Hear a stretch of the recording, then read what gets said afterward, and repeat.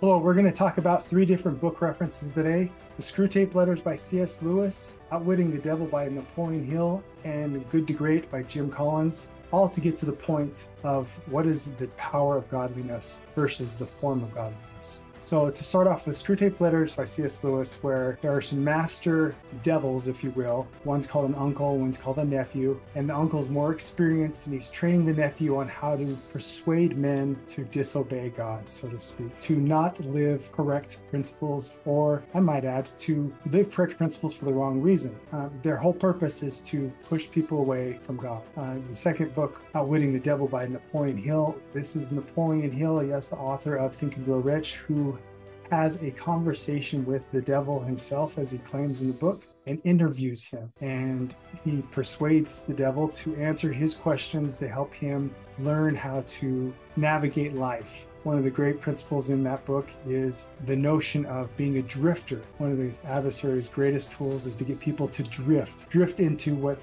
he calls a hypnotic rhythm. And when you're in this hypnotic rhythm, it's no less than being hypnotized. You're hypnotized into essentially to habits, habits of doing the same thing on and off. And you do things without thinking, without inspiration, without revelation from God to inspire your desires, but to inspire your ambitions and to stretch you to think further and to be more. And thus we'll come back to good to great. When you're trying to make a company from a good to a great company, that's a great step in life to be great, to be successful, to be what's called the honorable men of the earth. Those are great, wonderful things.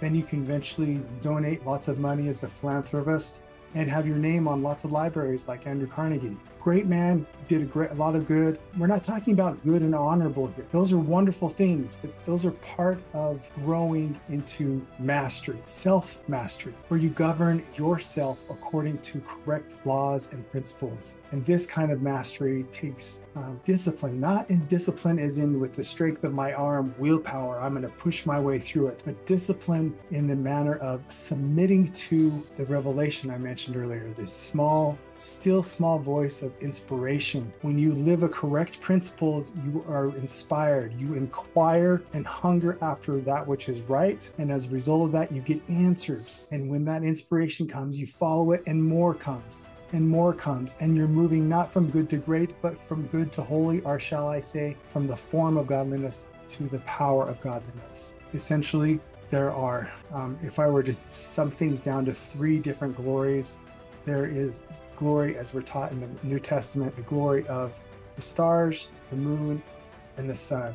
And the stars are a shining light that gives light in the dark, and then the moon is a reflection of light, the source of light, and the sun is the light that shines forth and gives us life. So, in these three degrees of glory, if we'll liken this unto this good to great concept, the good concept would be the moon, one that reflects greatness. Um, one that teaches people to live the laws of success, like Napoleon teaches wonderful laws of success, how to be wealthy, how to be healthy, how to have great relationships. Generally speaking, most self help books fall in those three categories. Those are wonderful concepts, wonderful laws, but they are stepping stones to something even greater. We want to be not just a reflection of good so that we can have success, essentially doing something to get something. We want to be and radiate good like the sun, giving life and light to those that come in our contact by radiating good within us, doing good to give good. And as a consequence, you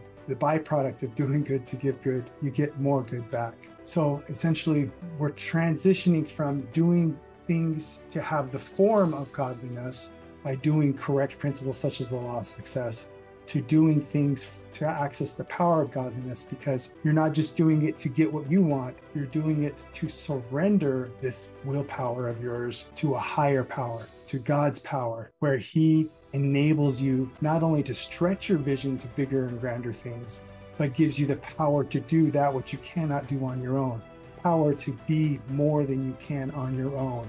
So, in conclusion, three wonderful books Screwtape Letters and Outwitting the Devil. I highly recommend. In reading those, it helps you to understand the opposite option, that, that which would persuade you to go more for the form of godliness, or even less, the form of the natural man, to go by your pleasures and to go by your passions, rather than going by your pure ambition to be better and to be more. And it all revolves around implementing the teachings of the wisest of men. That's the whole point of the Wiseman system is to learn of the wisest of wise men lived, live accordingly, and to emulate him. And when you emulate him by living his correct principles, you watch your thoughts, you watch what you eat, you watch how often you eat, you watch how much you eat, and you become a, a pure vessel in so much that he helps you to trim down to your ideal weight. And he helps you to be full of vigor and life and gives you power, power of godliness to be more